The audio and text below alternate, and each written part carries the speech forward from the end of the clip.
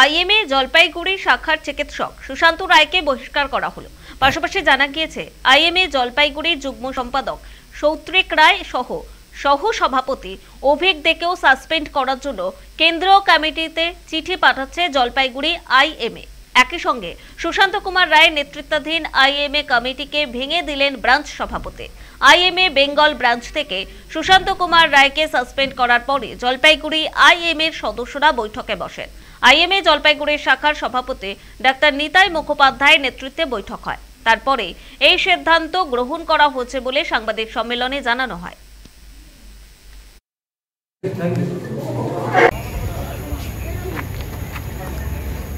আমাদের IMA headquarters that is new Delhi সেখান থেকে সেখান থেকে আসতে হবে। সেই জন্যই আমরা এখান থেকে, আমাদের ব্রাঞ্চ থেকে এই সুপারিশগুলো আমরা পাঠাবো এবং আমরা আমাদের আইএমএ হেডকোয়ার্টার্সকে অনুরোধ করব যত তাড়াতাড়ি সেটা ইমপ্লিমেন্ট করা হয়। এটা তো এই যে ঘটনা ঘটে গেছে আটই অগাস্ট তারপর থেকেই এই ব্যাপারগুলো বেশি বেশি করে আমাদের গোচরে এসছে।